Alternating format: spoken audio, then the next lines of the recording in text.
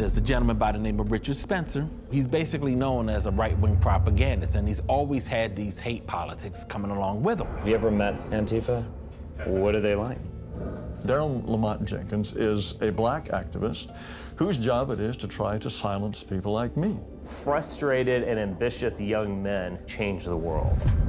The author of the Charleston Massacre was radicalized and ultimately committed mass murder based solely on what he read on the internet. I certainly did not want it to happen. Hate speech is protected under the First Amendment, but if what you say does cause some sort of harm, we all got to step up. We cannot ignore what's out there. We got to fight back. They are doing it for us. It's not me convincing people through rational argumentation.